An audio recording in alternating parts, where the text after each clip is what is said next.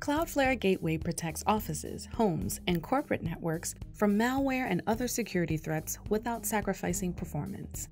Gateway provides a secure DNS resolver and filtering service that inspects and logs all DNS queries to apply policies that either block or allow the request.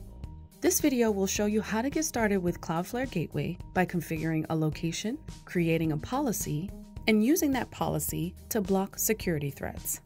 To get started, navigate to the Cloudflare Gateway dashboard at dash.teams.cloudflare.com. If you don't have a Cloudflare account, you can sign up and the browser will redirect you back to the Gateway Overview page. Now, let's configure a location.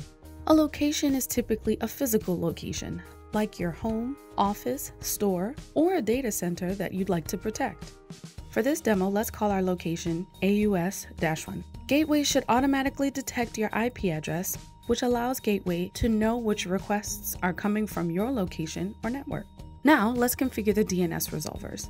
To take full advantage of Cloudflare Gateway, you should change your router settings to the Gateway IP addresses. For this demo, I'm only going to use the IP addresses that Gateway assigns.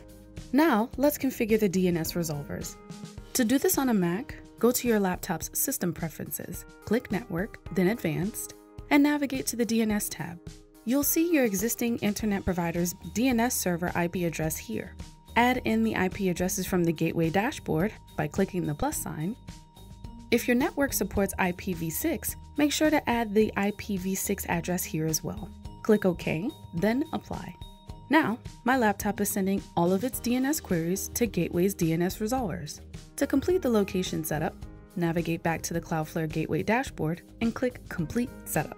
After configuring your first location, you'll see the Gateway Overview page. Here, you can view your location's requests and if they were allowed or blocked. After the initial setup, the graph may take a few minutes to show data. While we're waiting on the data to populate, let's confirm that our location was properly configured. It looks like our location is properly configured, but as you can see, there's no policy assigned. Let's create one. Create a policy and apply it to your location to protect your network from internet security threats like malware and phishing. The policy will control what the user can or cannot access while connected to your location.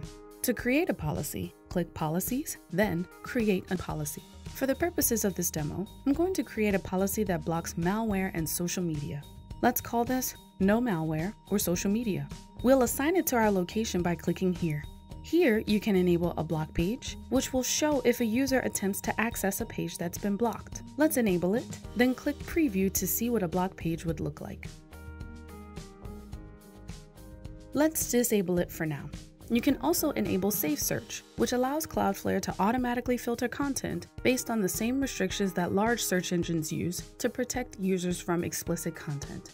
Now, let's identify what security threats we want Cloudflare Gateway to protect against. Gateway allows you to block all security threats listed here with one click, which include malware, phishing, and spam. Let's just block malware for now, then move on to the content categories. Gateway allows you to block certain content categories. Since we want to block social media with this policy, click Society and Lifestyle, then Social Networks. If you'd like to allow or block a specific domain, you can do that in the Allow Block tab. Let's enter chatgoogle.com to ensure that it's blocked and click Add Domain.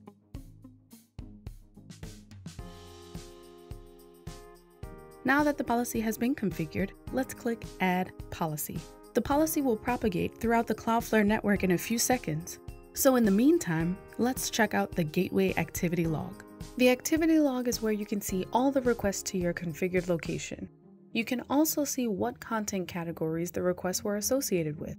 This request was associated with content servers and information technology content categories. It was an HTTPS request created from the AUS-1 location and was allowed as it didn't trigger the policy. Now, let's test our policy to make sure that it works properly. Let's test the social media portion of our policy by attempting to navigate to Twitter. Shortly after hitting enter, you'll see an error page indicating that Twitter cannot be reached. Cloudflare Gateway has successfully intercepted the request and blocked the page accordingly. During this Cloudflare Gateway walkthrough, you saw how to configure a location, create a policy, and use that policy to block internet security threats. To learn more about Cloudflare Gateway, navigate to teams.cloudflare.com backslash gateway.